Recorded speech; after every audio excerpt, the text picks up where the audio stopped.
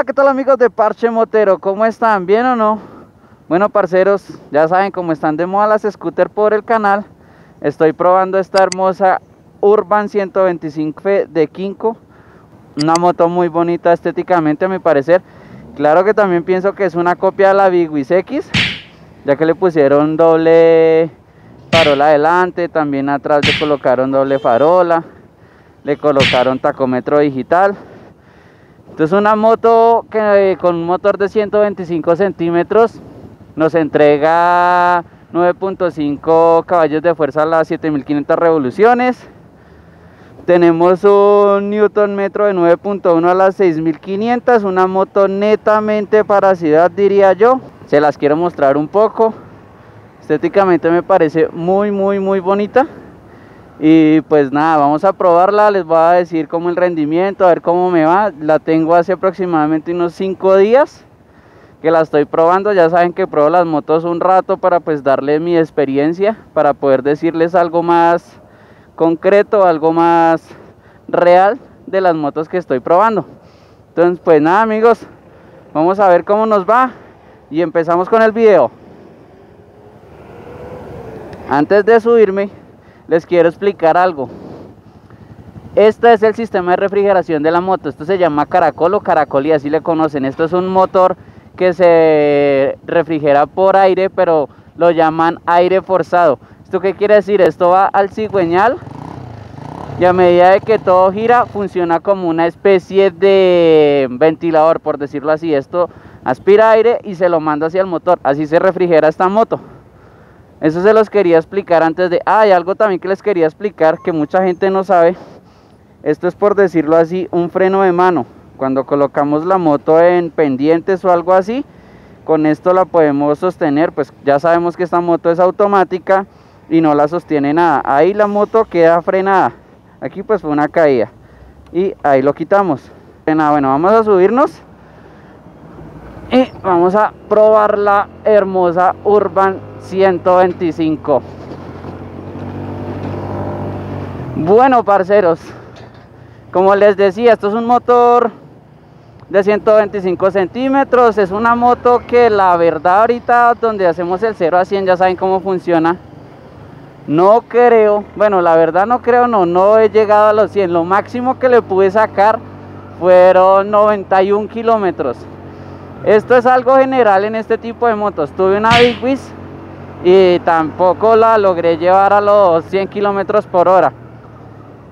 Ya saben o pues para los que no han visto el video que aquí se los dejo aquí arribita les dejo el video de Scooter Street. Omar nos explicaba todas las modificaciones lo de los roller, exhaustos todo ese tipo de cosas que le podemos hacer a la moto pues para que para que ande más para que quede más más andaloncita porque la verdad la moto sí es muy muy soncita esto se traduce en un bajo peso, una moto para ciudad, una moto que aquí en este lado nos permite llevar cosas. Que día que me cogió el agua fue muy chévere porque uno guarda los pies acá y no se moja, o sea, pues se moja menos. El baúl que va acá debajo del sillín también es muy útil. La autonomía como tal de la moto sí está un poquito floja. Entonces, pero bueno, vamos por partes. Eh, la moto pesa 115 kilos, es una moto muy liviana, muy sueltica, se deja trazar fácil. Del piso al asiento tiene 78 centímetros de altura. Es una moto más bien bajita, pero su sillín es bastante ancho. Esto nos da un pro y un contra. Es cómoda, pero para las personas bajitas, si digamos que tienen que sentarse muy hacia la punta acá del sillín para poder alcanzar el suelo. No es que sea alta, es que el sillín es muy ancho y las piernas a uno le quedan muy abiertas. Entonces no es muy fácil digamos que alcanzar el suelo. En la parte delantera eh, tenemos suspensión de doble horquilla convencional normalita. Tenemos freno de disco de 220 milímetros con un caliper de doble pistón. Es muy bueno tiene muy buena frenada. En la parte de atrás tenemos suspensión de doble amortiguador convencional, normalita. La moto es muy cómoda, es muy suavecita en la parte de atrás. Ya como norma general de este tipo de motos, la suspensión adelante y todo lo que es hacia adelante tiende a ser muy rígido, tiende a ser muy dura. Digamos que en los rizados, en las partes donde huecos, ese tipo de cosas, la moto es muy dura. Pero pues esto es como regla general de las scooters. No sé si alcanzan a ver. Vamos a apagarla. Miren el testeo. Es muy, muy deficiente eh, la iluminación del tacómetro. Esta moto no prende solo así. Hay que oprimir el freno trasero y ahí sí prende. Estos digamos que también algunas Big lo traen, no todas. Y unas motos como la Suzuki creo que prenden así también, las Gixxer. bueno, en el tablero que encontramos, encontramos RPMs, como pueden ver, eh, hora, velocidad, gasolina y kilómetros. Esta moto tiene apenas 13.200 kilómetros. Bueno, en el mando izquierdo que encontramos, encontramos luces altas. Acá abajo, estos son luces de paso, como el que tenemos acá en las otras motos regularmente. Encontramos direccionales, pito. Por este lado que encontramos simplemente el cucuyos, luces, luces apagadas y pues interruptor de encendido. La moto es muy básica, es muy normalita, muy solo para, mejor dicho, lléveme y tráigame. Puntos negativos de esta moto como tal. El tacómetro no se ve. Horrible, o sea, no sé literal si ustedes alcanzan a ver, en cámara eh, que no se ve. Tiene una, una luz muy, muy deficiente contra el sol. En la noche sí se ve bastante chévere pero a luz graves.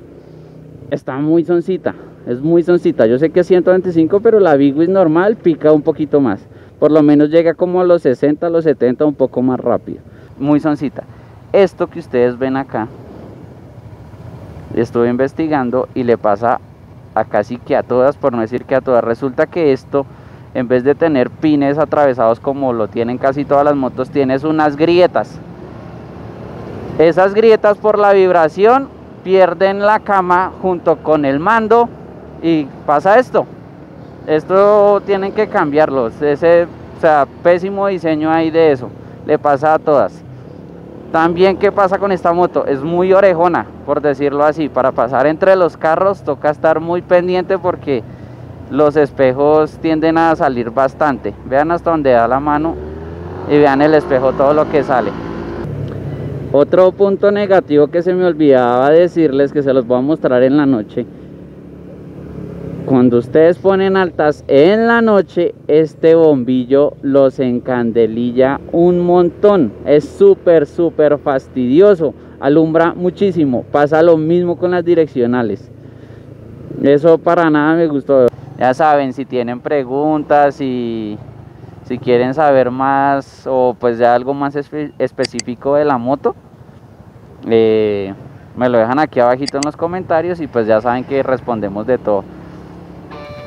Listos. Nos fuimos.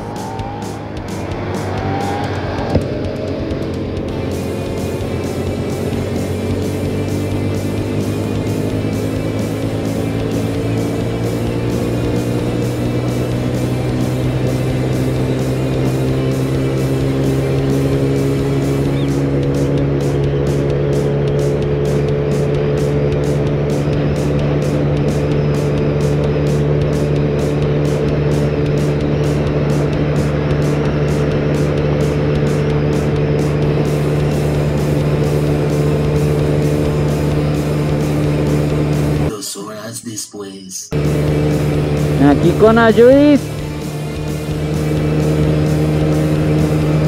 90. Pero pues se demoró un montón.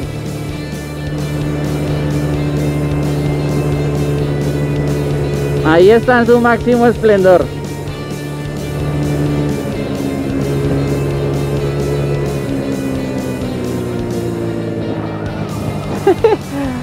un parche la motico, lo bien. Bueno, conclusiones finales de la Urban. ¿Me compraría o no me compraría yo esta moto? Si es para la ciudad, re sí. reconvencidísimo. Me tiene muy enamorado la motico por su versatilidad, porque es muy relajada para manejar, porque puede cargar uno cosas. Eso, bien. ¿Qué es lo que le, le mejoraría o, o, no sé? La autonomía, o sea, estar tanqueando tan seguido, sí, la verdad es bien cansón. Eso es lo único que no me ha gustado de la moto, la verdad. De resto, cómoda, eh, fácil de llevar, fácil de manejar. Eh, para la ciudad es perfecta. Si usted es una persona que hace un recorrido, póngale de una hora, hora y media, yo creo que más que bien. No, no va a sufrir para nada en esta moto.